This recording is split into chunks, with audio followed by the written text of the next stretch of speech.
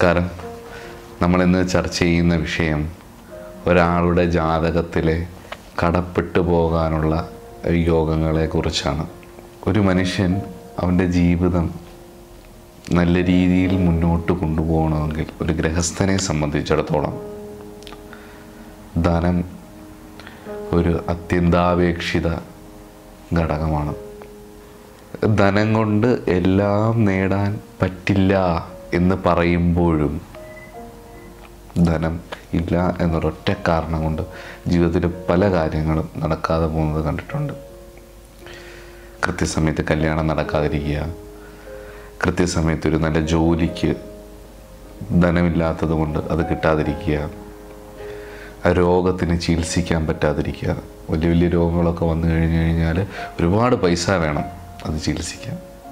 നല്ല വിദ്യാഭ്യാസം ചെയ്യണമെങ്കിലും ഇന്നത്തെ കാലത്ത് ധനം ഒരു അത്യന്താപേക്ഷിത ഘടകമാണ് അതുകൊണ്ട് നമ്മുടെ സമൂഹത്തിലുള്ള മിക്കവാറും ഉള്ളവരെല്ലാം ഭാവിയെ മുൻകൂട്ടി കണ്ടുകൊണ്ട് ധനം സ്വരൂപിക്കാൻ നോക്കും.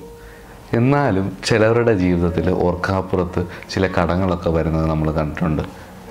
ചിലപ്പോൾ വളരെ അടുത്തറിയാവുന്നവർക്ക് വളരെ മാനസികമായിട്ട് സ്നേഹമുള്ളവർക്കും ധനം കൊടുക്കുന്നു.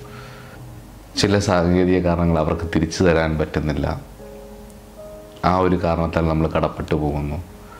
അതുപോലെ തന്നെ ബിസിനസ്സുകൾ ചെയ്യാൻ ഇൻവെസ്റ്റ് ചെയ്യുന്നു. പ്രോപ്പറായിട്ട് അതിന്റെ വഴിയിൽ അത് പോകുന്നില്ല.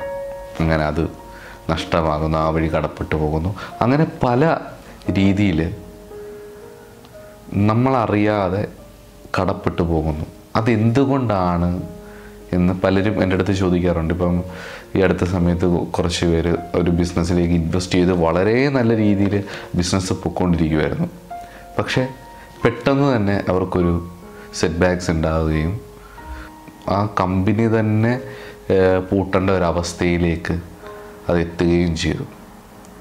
അപ്പം അങ്ങനെ നിരവധി ആൾക്കാരെ നമ്മൾ കാണാറുണ്ട്. അപ്പോൾ അതെന്തുകൊണ്ടാണ് എന്നുള്ളത് ജ്യോതിഷത്തിന്റെ ഒരു വഴിയിലൂടെ നമ്മൾ ചിന്തിക്കുന്നു. ഒരാളുടെ ഹൊറോസ്കോപ്പിൽ ലഗ്നം മുതൽ ലഗ്നം എന്ന് പറയുന്നത് ജനിച്ച സമയത്തെ ആസ്പദമാക്കിയിട്ടുള്ള രാശിയെ പറയുന്ന പേരാണ്. ആ രാശി ലഗ്നമായിട്ട് വരും.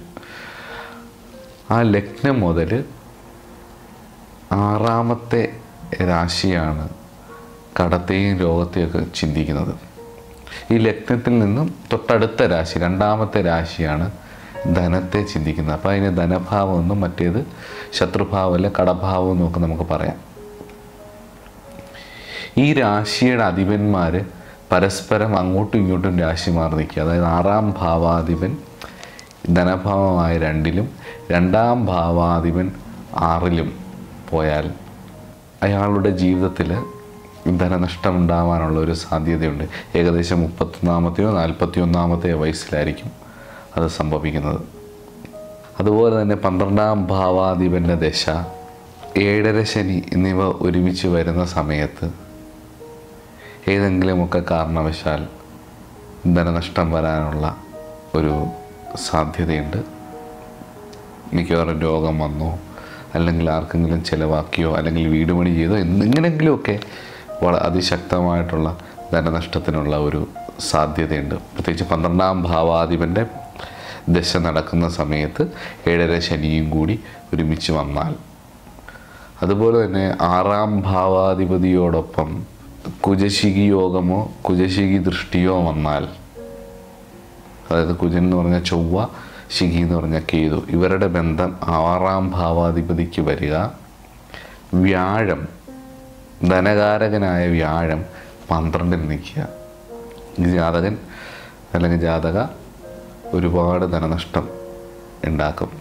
ഈ വ്യാഴം അതായത് ധനത്തിന്റെ കാരകനായിട്ടുള്ള ജൂപ്പിറ്റർ എന്ന് പറയുന്ന ഗ്രഹം ലഗ്നാൽ പന്ത്രണ്ടാം രാശിയിൽ നഷ്ടസ്ഥാനത്ത് നിൽക്കുന്നത് തന്നെ ഒരു തരത്തിലൊരു ധനനഷ്ടമായിട്ടാണ് നമ്മൾ കണ്ടിട്ടുള്ളത്. ആചാര്യന്മാർ അത് വളരെ ശക്തമായിട്ട് ഉറപ്പിച്ചും പറയുന്നുണ്ട്. തമാശയ്ക്ക് നമ്മുടെ നാട്ടിലൊക്കെ ആരെങ്കിലും കടപ്പെട്ടു പോവുകയാണെങ്കിൽ ജ്യോതിഷികളൊക്കെ പറയും അയാൾ പന്ത്രണ്ടിൽ വ്യാഴക്കാരനാണോ?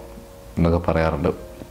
പിന്നെ ഒരു യോഗം എന്ന് പറയുന്നത് രണ്ടാം ഭാവാധിപൻ ആറ് എട്ട് പന്ത്രണ്ട് ഈ രാശികളിൽ ഏതെങ്കിലും ഒന്നിൽ പോവുക വ്യാഴം പന്ത്രണ്ടിൽ നിൽക്കുക അതുപോലെ ഒമ്പതാം ഭാവാധിപൻ ബലമില്ലാതിരിക്കുക. ഇത്രയും വന്നാൽ ആ ജാതകനും ധനനഷ്ടം കടം വരാനുള്ള യോഗമാണ്. ഇപ്പോൾ ഈ പറഞ്ഞ കുറച്ച് യോഗങ്ങൾ ഞാൻ സ്ഥിരമായിട്ട് പലരുടെയും ജാതകത്തിൽ ഈ അനുഭവം വന്ന പലരുടെയും ജാതകത്തിൽ റിപ്പീറ്റഡായിട്ട് കാണുന്നതാണ്. അതുകൊണ്ട് രണ്ടാം ഭാവാധിപതി ആയിട്ടുള്ളത് ഏത് ഗ്രഹമാണെന്ന് വെച്ചാൽ ആ ഗ്രഹത്തിന്റെ അതിദേവതയ്ക്ക് ശക്തമായി പരിഹാരം ചെയ്യുക. അതുപോലെ തന്നെ സുഹൃതം കൂടുന്നതിനനുസരിച്ച് നമ്മളുടെ ദുരിതങ്ങൾ കുറയും. കാരണം ദുരിതത്തിന് കാരണമാകുന്നത് പൂർവജന്മകൃതം പാപം വ്യാധിരൂപേണ ജായതെന്ന് ഈ കഴിഞ്ഞ നിമിഷം വരെ നമ്മൾ ചെയ്തിട്ടുള്ള പുണ്യപാപങ്ങളുടെ ഫലമായിട്ടാണ് പാപത്തിന്റെ ഫലമായിട്ടാണ് നമുക്ക് ദുരിതങ്ങൾ വ്യാധികൾ ഉണ്ടാവുന്നത് അപ്പം ആ ദുരിതങ്ങളെ ഓവർകം ചെയ്യാൻ വേണ്ടിയിട്ട് ഈശ്വരോപാസന വ്യക്തമായിട്ടുള്ള ഒരു ഈശ്വരോപാസന ചെയ്ത് ആ ദേവതയെ ശരണം പ്രാപിച്ച് ജീവിതം മുന്നോട്ട് പോയാൽ കടംപ്പെട്ടു പോവുക എന്നൊക്കെ പറയുന്നത് ഒരു വലിയ ദുരന്തമാണ്. ശരിക്കും വർഷങ്ങളോളം സമ്പാദിച്ച് കൂട്ടി വെച്ചിരിക്കുന്നതൊക്കെ ഒരു നിമിഷം കൊണ്ട് തകർന്നു പോവുക എന്ന് പറയുന്നതൊക്കെ ഒരു വലിയ ദുരന്തമാണ്. ആ ദുരന്തത്തിൽ നിന്നൊക്കെ കരകയറാൻ വേണ്ടി പലരും മദ്യത്തിനുമൊക്കെ അടിമയായി തീരുകയാണ് ചെയ്യുന്നത് ഒന്ന് ഉറങ്ങാൻ വേണ്ടി പോലും. അങ്ങനെയുള്ള ദുരന്തങ്ങൾ വരാതിരിക്കാൻ സുഹൃതങ്ങൾ ഉണ്ടാവാൻ വേണ്ടിയിട്ട് ഞാൻ പറഞ്ഞ പോലെ വ്യക്തമായ ഒരു ഈശ്വരോപാസന അവനവന്റെ ശാരീരിക മാനസിക തലത്തിന് ചേരുന്ന ഒരു ഈശ്വരോപാസന ചെയ്തുകൊണ്ട് മുന്നോട്ട് പോയാൽ കണ്ണിക്കൊള്ളാനുള്ളത് പിരികത്ത് തട്ടിയങ്ങ് പോവും. വലിയ ദുരന്തങ്ങളൊന്നും ഉണ്ടാവില്ല. എല്ലാവർക്കും നന്മകൾ വരട്ടെ എന്ന് പ്രാർത്ഥിച്ചുകൊണ്ട്. നമസ്കാരം.